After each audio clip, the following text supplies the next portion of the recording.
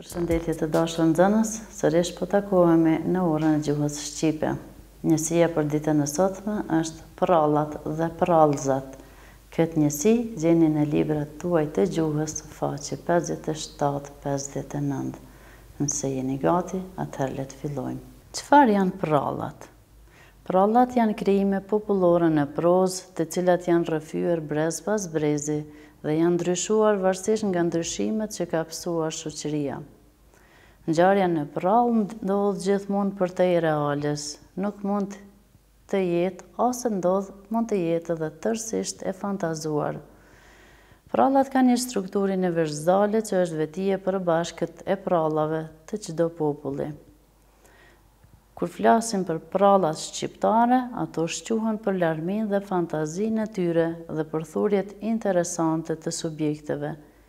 Temat dhe motivet e prallave shqiptare janë të ngjajshme me ato të prallave evropiane dhe atyre aziatike.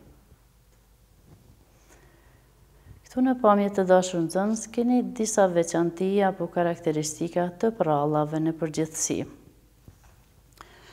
Prallat janë krijime të vjetra, kanë fund të lumtur, bazohen te imagjinata duke ndikuar në zhvillimin e saj, kanë karakter edukativ, por edhe argëtues. Në pralla e mira fiton përkundër përpjekjeve dhe sakrificave, Japin mesazhe mbi raportet njerëzore, moralin, të drejtën dhe të mirën. Kanë origjinë, variant nuk kanë origjinë, ndërsa variante të ngjajshme i gjejmë edhe tek popuj të ndryshëm. Zakonisht prallat fillojnë na ishte një herë, sigurisht edhe juve ju kujtohen fillimet e prallave që fillojnë me të njëjtën fjali. Kanë personazhe fantastike, Vendi ku zhvillohet ngjarja është imagjinar, të cilin e përmendëm edhe më lart. Kemi prallëzat. Shofim cilat janë veçantitë e prallëzave. Bashkë me prallat, prallëzat janë ndër krijimet më të vjetra popullore, Prallëzat janë krijime më të shkurtra se prallat dhe me ngjyrim alegorik dhe tregojnë ndodhi të ndryshme për të dhënë ide edhe më të gjëra për jetën e njeriut. Shoqërohen me të papritura dhe kthesa të çuditshme që marrin ngjarjet dhe jetët e personazheve. Kjo është faktikisht edhe veçantia e madhe që e dallon prallëzën prej një pralle. Prrallëzat dikur kanë qenë armë e fortë për të kritikuar në mënyrë të tërthortë realitetin shoqëror kur shumë gjëra nuk mund të thuheshin haptas. Prralla, kanë shkruar shumë autorë, të huaj siç është Ezopi dhe La Fonteni shquhen sidomos për prrallat e tyre, ndërsa tek autorët tanë kemi Çajupin, Naimin dhe autorë të tjerë të cilët kanë krijuar krijime të tilla. Në pamje, të dashur nxënës keni një prallëz të shkurtër me titull Dreri dhe Luani. Një dre i etshëm erdhi tek një burim. Ndërsa ishte duke pirë ujë, vuri re në hijen e vet dhe filloi të mburret për brirët, duke parë madhështinë dhe bukurinë e tyre. Kurse për këmbët e veta u hidhërua që i kish aq të holla dhe të hajthme. Derisa ende ishte duke menduar për këtë gjë, erdhi Luani dhe filloi ta ndjekë. Dreri u dha këmbëve dhe u largua mjaft prej Luanit. Derisa ishte në fushë, pa pemë, Dreri vrapoi mirë dhe i shpëtoi rrezikut. Por, kur mbërriti në pyll, brirët iu ngatërruan nëpër degët e pemëve dhe nuk mundi të vraponte më, ndaj Luani e kapi. Para se të mbaronte dreri në gojën e Luanit tha me vete, I shkreti unë, këmbët më shpëtuan megjithëse mendova se ato më linin do të më linin në baltë, por gjeta belanë prej brirëve me të cilët kisha plot besim. Do të thotë, e përmendëm edhe më herët, e papritura ndodh në fund të tekstit, mirëpo kanë në përgjithësi prallëzat kanë një porosi Në këtë rast kemi porosinë edhe që dreri thotë që mburret me brirët e tij, po faktikisht belanë e gjen prej brirëve, ose nuk është i kënaqur me këmbët e tij të holla, megjithëse ato gati se e shpëtuan derisa ishte në fushë.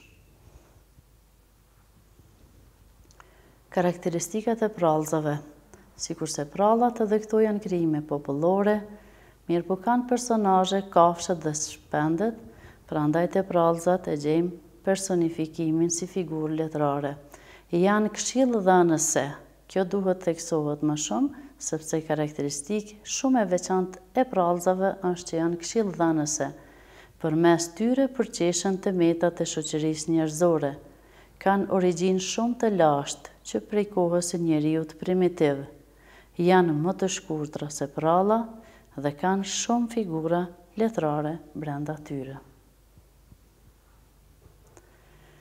Derisa flasim për prallat dhe prallzat është e pamundshme të mos mendojmë për figurat mitologjike që ndodhen në to. Figurat mitologjike shqiptare janë të pakta, mirëpo i ndeshim në krijimet popullore mjaft dendur. Në tregimet popullore shqiptare kemi këto figura mitologjike, zanat, orët, shtojzavallet, dragoi, gjarpri e të tjerë. Ndalemi te zanat si figura mitologjike, shohim disa të veçantat e tyre. Janë figura qendrore në mitologjinë shqiptare. Dallohen për trimëri dhe aftësi luftarake, shpeshherë edhe në në komunikimin tonë të përditshëm themi për dikënd ai është trim si zana, Këndojnë, hedhin valle i përkundin djepat dhe u bien veglave muzikore. Jetojnë në pyje të dendura e të bukura, ku këmba e njeriut rrallë shkel. Janë të bukura dhe të fuqishme, por edhe ndëshkuese. Prej këtu rrjedh mallkimi Të shitoftë Zana, sigurisht edhe këtë thënie e keni dëgjuar shumë herë. Shërojnë njerëzit, i bëjnë të fuqishëm, i shpëtojnë nga rreziku. Janë qenie të mbinatyrshme dhe kanë forcë apo fuqi hyjnore. Orët dhe shtojzavallet Ndalemi së pari te orët si figura mitologjike.